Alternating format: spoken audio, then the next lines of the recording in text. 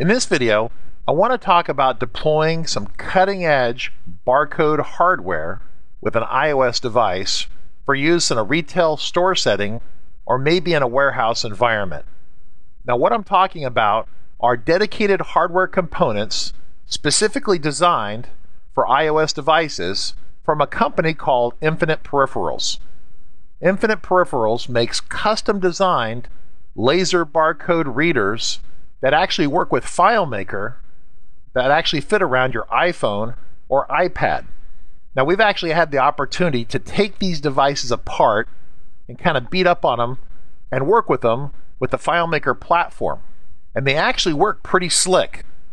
These are the similar sort of devices that you've seen at the Apple Store, where Apple employees check out customers at high speed, providing an excellent customer experience. Now, the Apple employees are using this with iPhones, but the folks at Infinite Peripherals have built hardware that works with both the iPhone, the iPad mini, and the full size iPad. Now, if you check out their website, we've seen that they've actually supported the iPhone 5, the iPhone 6, and the latest versions of the iPad. Now, the way this actually works is that Infinite Peripherals makes a product called the Linea Pro for the iPhone, which is actually a laser barcode reader built into a ruggedized case that your iPhone fits into. So your iPhone actually has a ruggedized, protected case with a laser barcode reader built in. It's really cool. Now, the product for the iPad is called the Infinea Tab. And they have different tab models, but in general, it's called the Infinea Tab. Now, there's different variations of the case depending whether you need a lightweight case or a more ruggedized case. It depends what kind of environment you're running in. If you're operating in a warehouse, you might want a more ruggedized case. But if you're operating in a retail store and your employees are somewhat thoughtful and not clumsy, then maybe a more lightweight case might be appropriate. It just depends what your needs are. So now that I've given you kind of an overview of the hardware and actually how it fits on the iOS device, let's talk about using FileMaker Go with these barcode readers. Now, it's important to understand that FileMaker Go on the iOS communicates with other applications using the URL protocol. The URL protocol is really nothing more than a very specific web address. Most website addresses that you see are HTTP colon forward slash forward slash www something, right? So when FileMaker Go wants to communicate with the barcode reader, it actually has to talk to the iLinea software that's also running on your iOS device. In fact, as part of the setup process for your iOS device, you're going to install FileMaker Go and also the iLinea software from the Apple App Store. Now, to get FileMaker Go to talk to the iLinea software, we have to use this URL protocol. The URL protocol from FileMaker Go to the iLinea software is formatted like this iLinea colon forward slash forward slash, then the name of our FileMaker file, question mark, script equals single underscore scan, ampersand param equals, and then the responding script name.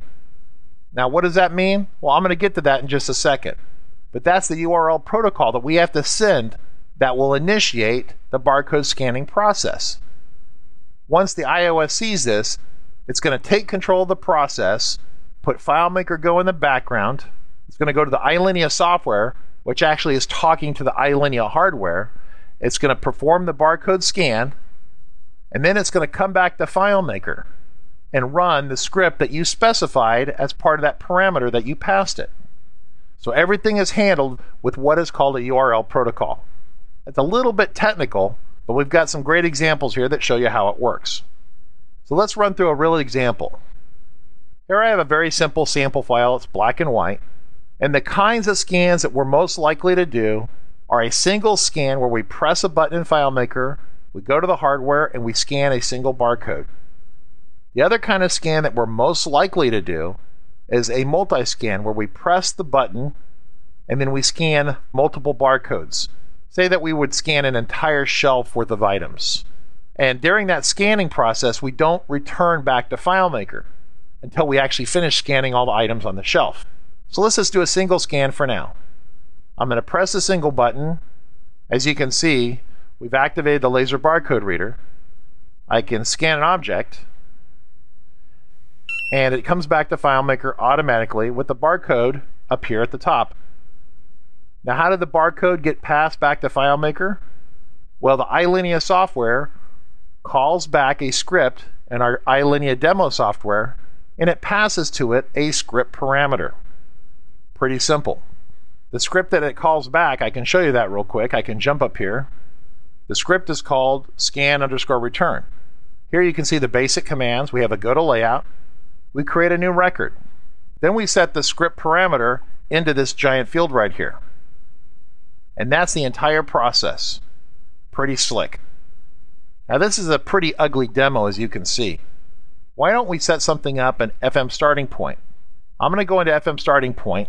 I'm in the invoice data entry screen that we've set up.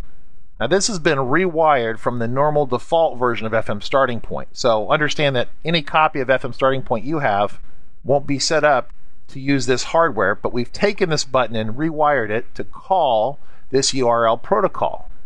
I'm going to press the button. It's going to go here, the hardware automatically, as you can see. It's going to do a single scan once again. It's going to take that ID. It's going to come back right here, you can see, and it puts the product number straight into the ID field here.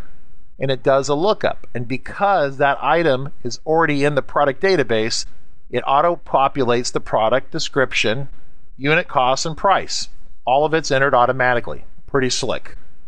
Now there's a little bit of a screen flash as we jump from FileMaker Go to the Infinite Peripheral software and back to FileMaker Go.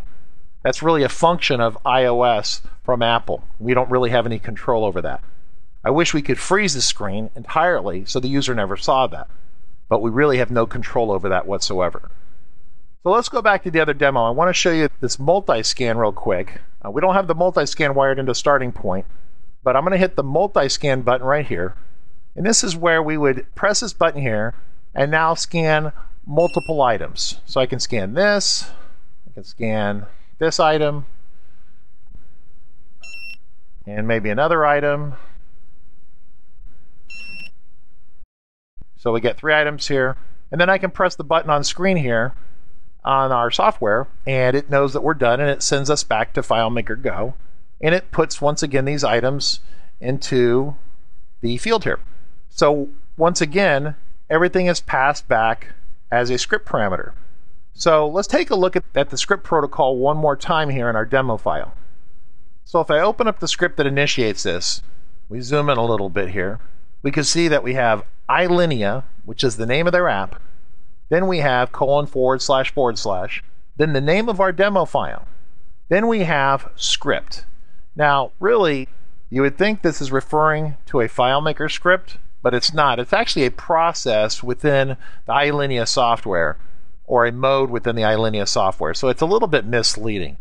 But suffice it to say that we're telling the scanning software from iLinea that we actually want to perform a single scan as opposed to a multi scan. And of course, if you paid attention much to their website or the other options, Infinite Peripherals also makes printers, they make credit card scanners. There's all sorts of other things that you can do with their hardware. We're just talking about barcode scanning right now. So there's obviously other things that we could put in here besides single scan and multi scan. And of course, the param that we pass is the returning script that we want to activate. So let's go ahead and close this window right here. And let's talk about and look at the responding script. It's called scan return. This script will be called and activated on the return. And all we have to do is capture the script parameter and do something with it. Now it's important to note that the barcode hardware itself will put itself to sleep sometimes and if it does actually put itself to sleep, you know, it's like a power savings mode. You don't want the battery running itself down, even though the laser hardware itself has its own battery. If you left it on all the time, it would run dead fairly quickly. So it puts itself to sleep, kind of like a laptop or iPhone.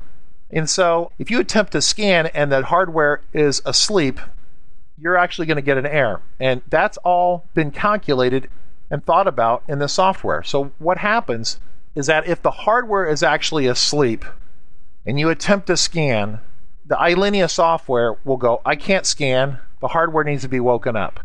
It will abort the scanning process and come back to FileMaker and run a script. It will run a script with a reserved name. It's called status underscore return. Now, our experience in testing this software from iLinea is that this script name is reserved. Theoretically, you can change the script name, but when we try to change it with iLinea, their software didn't really allow us to change it. It would crash. And so maybe in a future release, they'll allow us to change the name, but status underscore return is a reserved name, and I would treat it as such. And this is the name that their software will be looking for in your FileMaker Go application to report to you that the scanning has failed. Now, the hardware error will be reported back to you in a script parameter. Now, the most common hardware error that we have is the Linea is not connected, and that simply means that it went to sleep. So we show a dialog says, please press the scan button to wake up the scanner and try again. Otherwise, it shows a different error. Of course, I can demonstrate this right here by allowing the scanner to go to sleep. I'm going to go ahead and press scan, and we get the error message like this. So that gives us the opportunity to go back, wake up the hardware by pressing the button here so it's all nice and awake, and then we rescan, and it's no big deal. So everything's running normally. So hopefully this gives you an idea of the really cool hardware that you can incorporate with your iOS device from Infinite Peripherals. And these folks are at ipcprint.com. And it's really not that hard to integrate this with your FileMaker solution. And of course, this demo goes a long ways towards showing you how to incorporate it straight into your copy of FM Starting Point.